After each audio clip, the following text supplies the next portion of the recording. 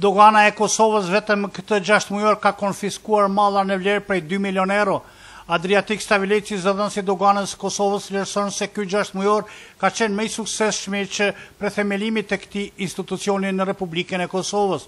Ai për media ka konfirmuar se vetëm gjatë këtij viti Dogana ka intensifikuar kontrollet në luftimin e lojërave të fatit, ku disa pika të bastit janë penalizuar me gjoba që kalojnë vlerën mbi dyqind mijë euro.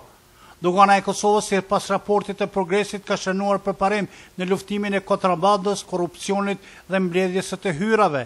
Ai bëri të ditur se Dogana ka shpeshtuar dhe kontrollimet në parandalimin e lojërave të fatit ku mbi njëqind pika të bastit janë penalizuar në vlerë mbi dyqind mijë euro. Gjatë kësaj periudhe kohore, sipas Stavilecit, Doganat e Kosovës kanë konfiskuar mallra në vlerë deri në dy milionë euro. Ai sqaron se në rajonin e Mitrovicës më shumti kontrabandohen mallrat ushqimore, siç është kontrabandimi me pije dhe barëra, ndërsa në rajonin e Gjilanit më e shprehur është kontrabanda me gjedhe.